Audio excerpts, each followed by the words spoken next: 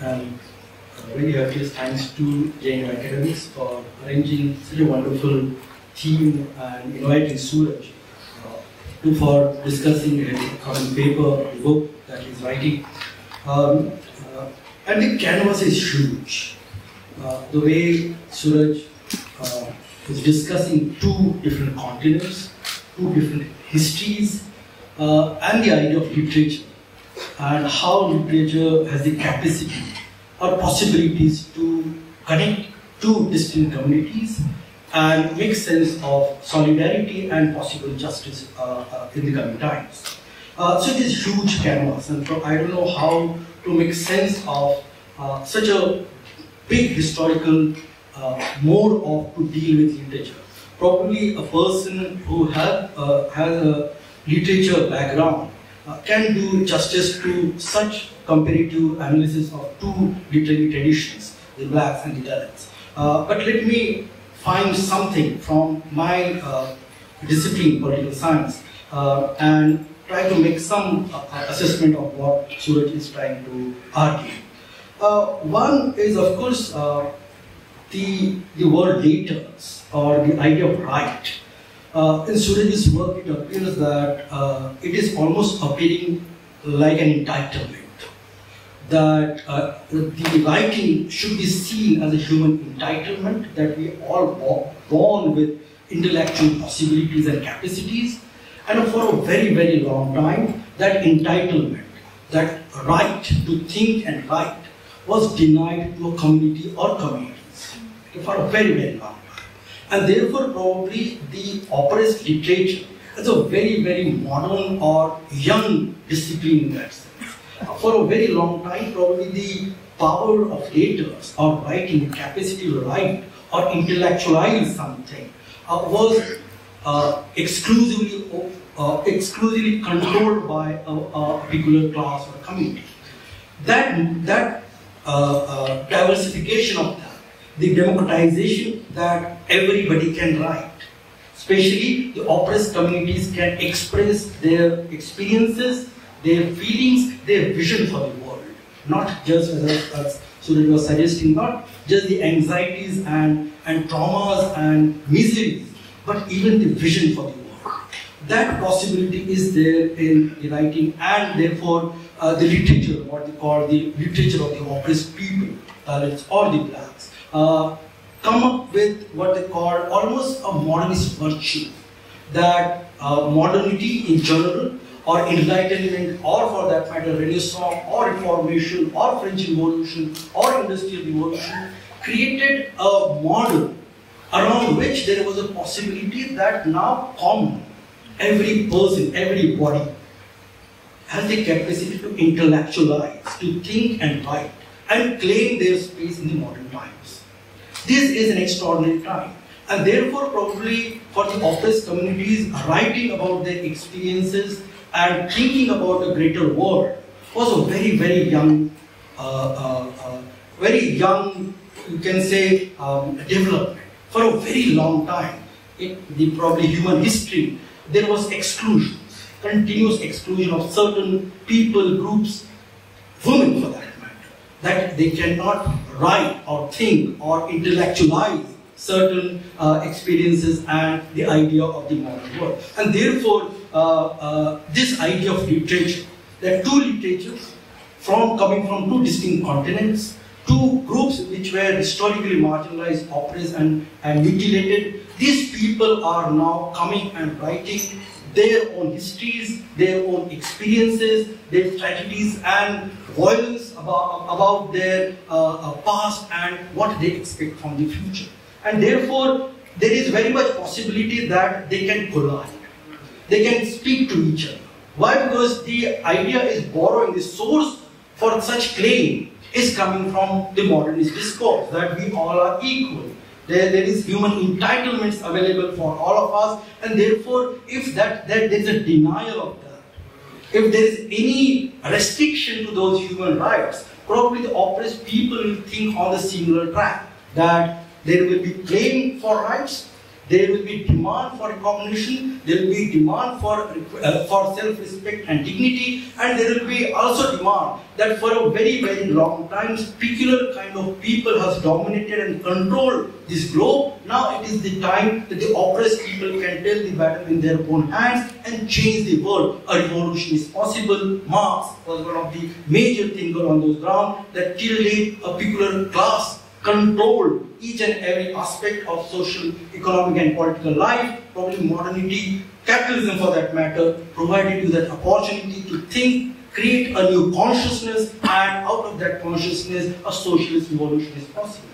Similar uh, tendencies were there in other oppressed communities, blacks or Dalits, that for a very, very long time we are kind of condemned to live a peculiar life uh, a life without any self-respect or for that matter any good recognition. And therefore, it is the now, it is the time where we will not succumb to that condemned nature, but try to change and challenge that and emerge as intellectuals, as public leaders, as spokesperson of that community, and also the upholders of power. And uh, Suraj was right when he was introducing people like uh, the uh, like uh, um, bhakti poets for that matter, or those who are claiming for spiritual equality. Okay? There, that, that essence is there. Uh, or for that matter, Ambedkar, when he suggested that we will be the part of the modern institutions. Or Kanshiram, when he suggested that not only part of the public institutions, but also power holders. So this journey, it is just a normal human journey. It is, there is nothing extraordinary in that. It appears extraordinary. Why? Because for a very, very long time we have we are habituated, we are we are uh, we are basically condemned to see that these people cannot claim power, recognition, or self-respect, and therefore when they claim, it appears as an aberration, it appears an accident, it appears like a revolution, but in literature, especially in the literature, it is just a human claim. It's a normal human claim to get recognized, to claim for power, to get elected in representative bodies. There is nothing revolutionary in that. Is it a revolutionary claim that I want to become a ML or MP in parliament? Is it a revolutionary claim? It is not. But still, as I said that somewhere uh, this uh, accusation uh, that often been seen, and probably Suraj is extremely right to pinpoint the, the kind of uh, marginalization or condemnation of this, this particular process as identity politics or a kind of a narrow uh, claim for claim about their miseries and uh, uh, uh, and other other demerits. Now, because it is so huge, what Suraj was claiming, these two continents was so huge and we are almost giving a glimpses that what has happened in last 200 to 300 years. Uh, and therefore probably uh, we don't get a sense that where to stop and where to uh, engage with this kind of a uh, huge uh, historical chronological way to deal with two distinct communities. Uh, I will probably suggest that probably this idea that there are thinkers like M.N. Wankhede or uh, uh, Pantawane or Janardhan Bhagwan, uh, those who have actually contributed to think about these two communities in very, very sincere manner. Others were independently operating at their own spaces. Or for that matter, uh, a, a, deliberation between Du Bois and Ambedkar for that matter. Uh, they have correspondence and even Ambedkar was thinking about the, the black world in a very, very sincere manner. So somewhere concentrating on that profile, suggesting that there are there intellectuals within the oppressed communities who are thinking about that solidarity. Rest are independent operation, uh, uh they, they are independently operating. And therefore, probably the Panthers movement become very, very crucial. And I think uh, Suraj is absolutely doing that particular job, uh, making Panthers as one of the um, uh, cornerstone of his paper, that it is the Panthers movement that created this bigger global aspiration that they will not only be sticking with what, what they call local claims for recognition and participation in political sphere, but will also make kind of a bigger revolutionary claim to collaborate and make solidarities with the global oppressed communities. This is extremely uh, uh, well documented. And therefore, uh, when Dhasal was reading Fanon or for that matter many other revolutionaries at that point of time and is quoting Sartre and Camus in his writings. He had, was extremely international at that point of time. He was not thinking at, as a local Dalit activist or a, or a, or a, uh, uh, or an intellectual. Uh, he was thinking he was, he, was, he was referring Sartre and Camus, he was referring Marx and Lenin. His approach was international. And therefore, there are tendencies and capacities within this particular discourse to escape that local contamination, which was condemned to live in that small, ghettoized uh, local, and to escape and create a global imagination. And that possibility is there within the literature. That they are not localized, they are not small or what they call particular. This, distinction that often been offered. Local and to escape and create a global imagination. And that possibility is there within the literature. That they are not localized, they are not uh, small or what they call particular. This, this distinction that often been offered. Uh, and from that particular location, they are imagining the, the higher world or global world. Uh, and therefore, probably a concentration on those movements or intellectuals or leaders that were thinking deeply about these global aspirations.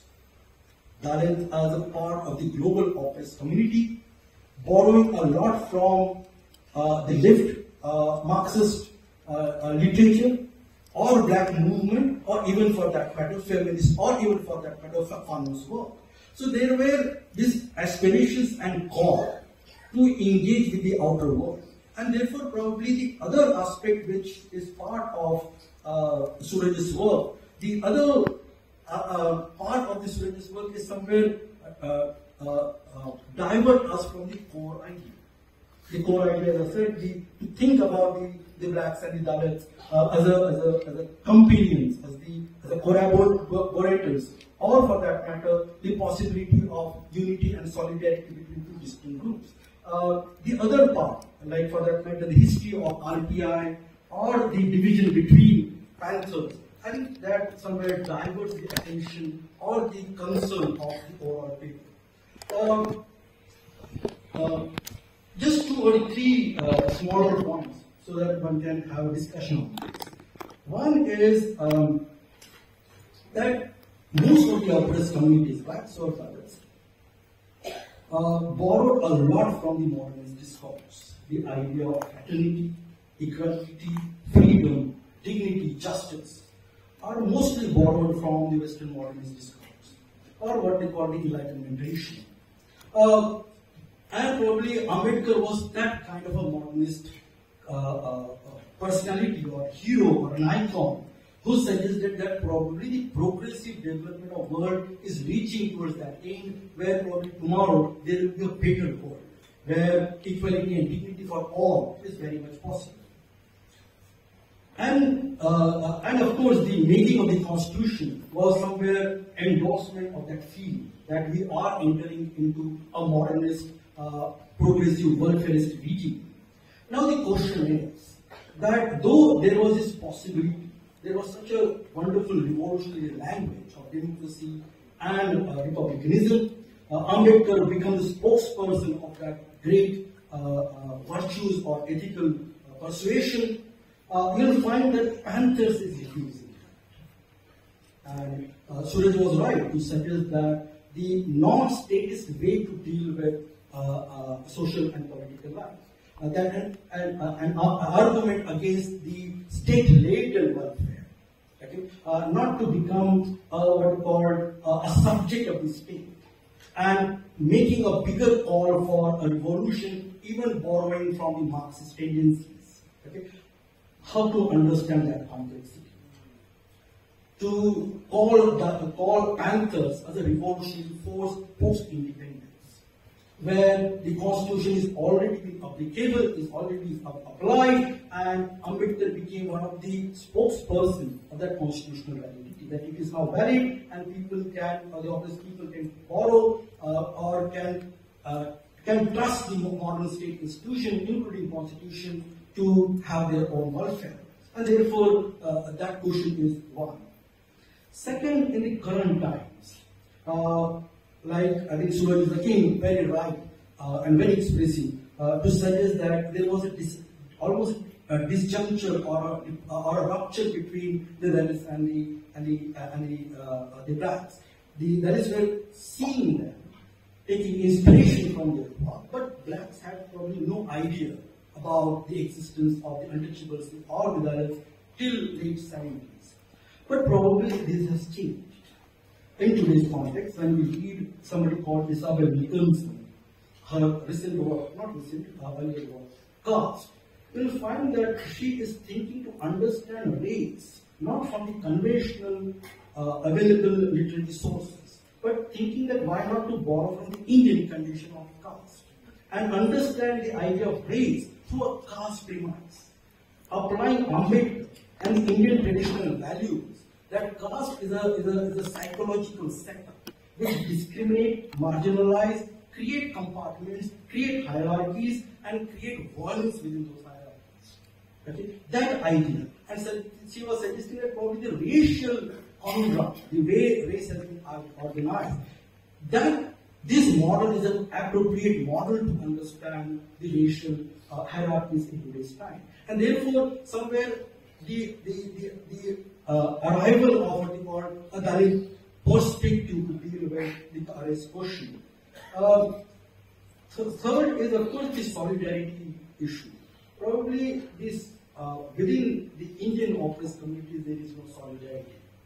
Dalits and Adivasis are not seeing each other in a very sincere way. Uh, religious minorities and Dalits do not have that kind of a very powerful uh, uh, sense of solidarity that they can have a political bloc or other working classes, women, or for that matter, Dalits, do not see eye to eye often. And therefore, uh, there are, as I said, ethical claims vis-a-vis each other, but the possibility to create uh, a solid solidarity, a political bloc, is so difficult even in our own territory where it's a, it's a population of the oppressed people.